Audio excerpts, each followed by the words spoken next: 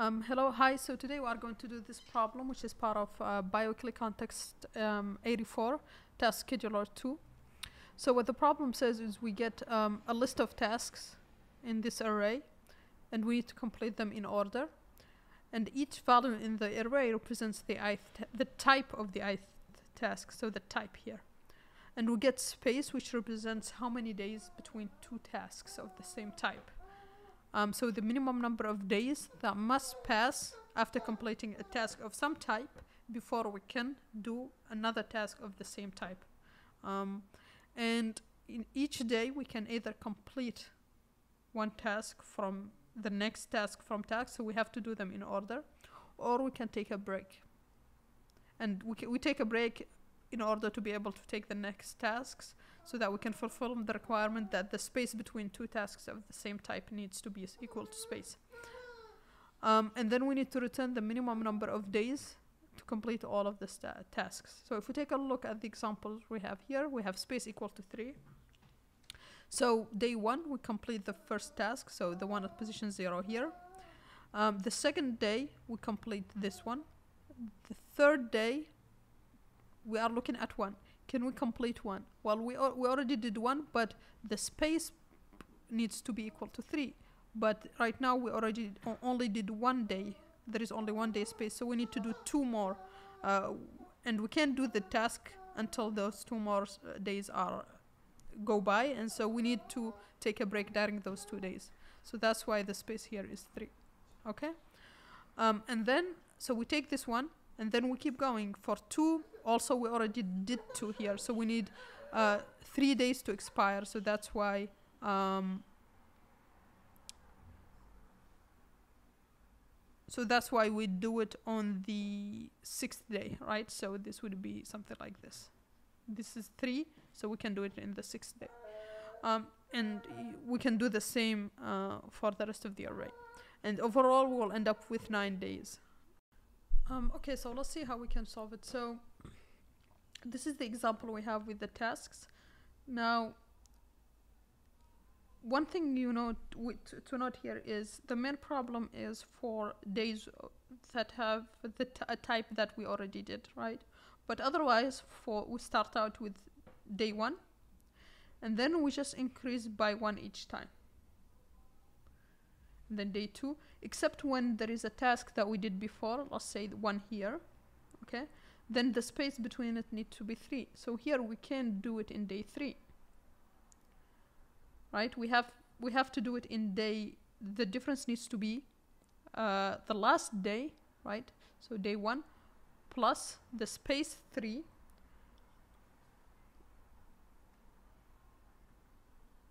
right? So that will be um, day four but we actually the space needs to be so we have the day here. We need to have space of three days. One two three and then we can do it. So it's actually plus one. So we need to do it in day five okay? So what does this value amounts to? So it's the last day of the same task of t plus space plus one. That's the day where we can do it so what this tells you is that we need to have a map that records the last day of a type that we encountered, right? So we need to have a map,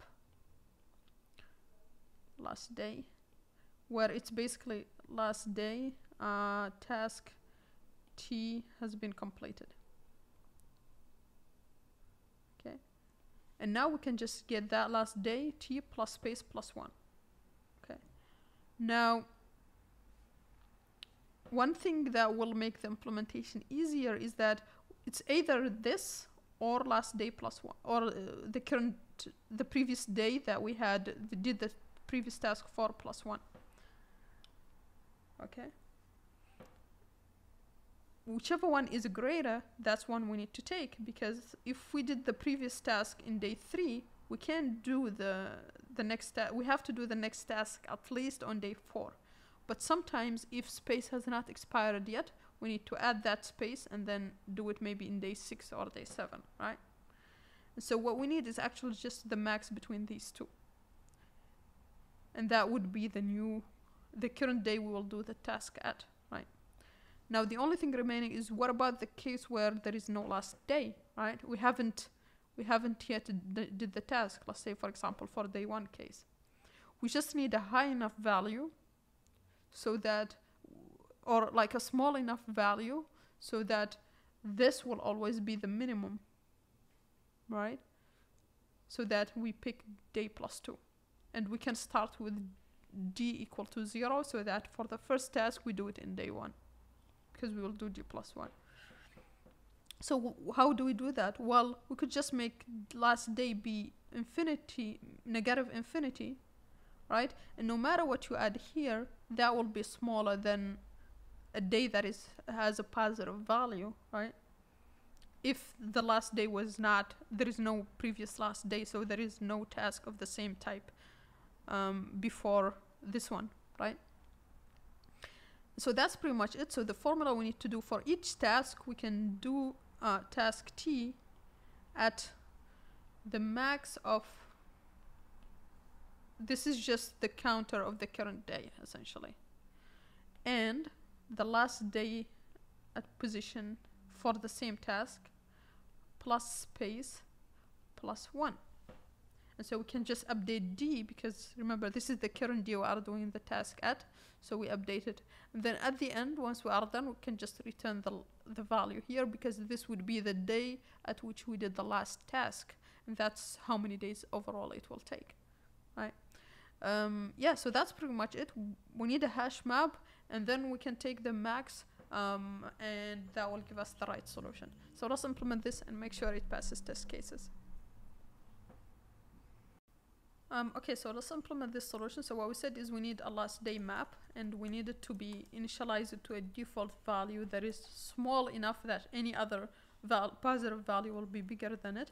So what we can do in Python to get a default, we can just have default with minus infinity.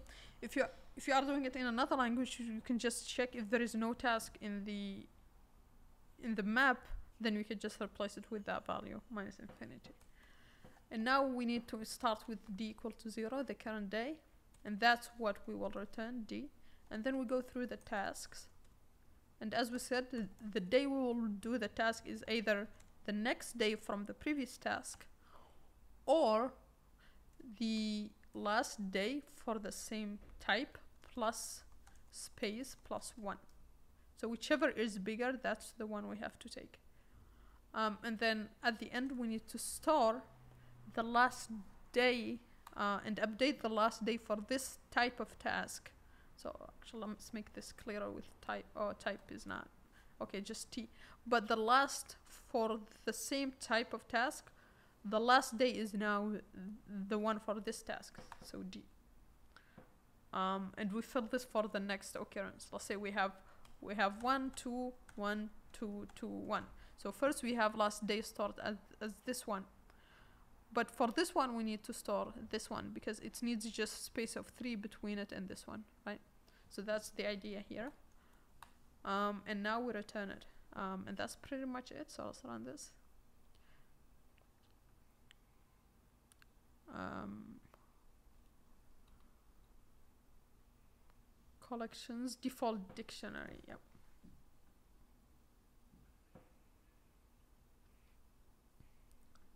Um, this should be last day. That's the map we are using here.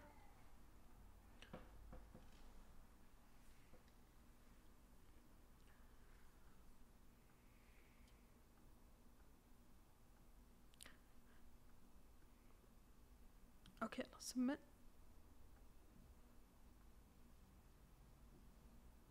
Okay, so that passes test cases. Um, now, in terms of time complexity, well, we are just doing one loop here. So this is O of n, n is the number of tasks. Um, and then, so this is time overall. And in terms of space, we are doing uh, just using this map, right? And that's the only thing here. So O of n space. Um, yeah, and that's pretty much it for this problem. Um, yeah, thanks for watching. Please like and subscribe and see you on the next one. Bye.